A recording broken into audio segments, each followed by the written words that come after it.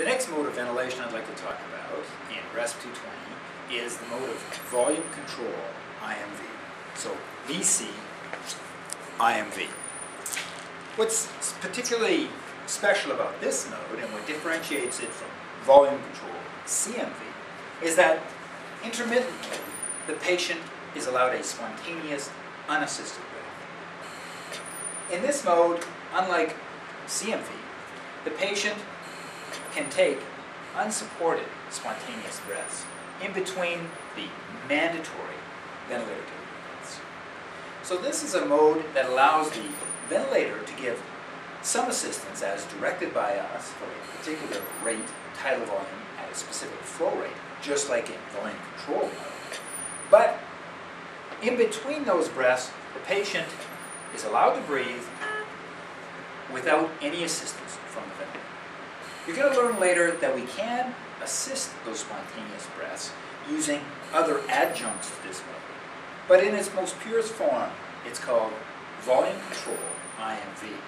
Now it's synchronized the patient's efforts. So if the patient is breathing along, just like this, every five seconds or so, the ventilator will realize that, hey, it's time to give a mandatory breath.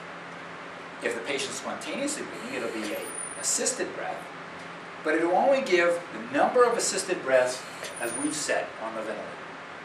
So unlike CMV, where you could have as many mandatory and assisted breaths as the patient was breathing, so if you're breathing at a rate of 16, they'd get 16 ventilated breaths. In this mode, if we set the rate at 12, they're only going to get 12 ventilator-assisted breaths. All the other breaths that they initiate on their own will be unassisted. So that's a huge difference because in this mode, the patient is going to be doing some of the work of breathing. We're going to set up a minimal amount of mandatory ventilation. All right, so that's why it's known as volume control, intermittent, mandatory ventilation. The waveforms look almost identical, except for the unassisted breaths, where the patient is spontaneously breathing on their own. All other aspects of this mode are very similar to volume control in that it can be time triggered or patient triggered due to an inspiratory flow.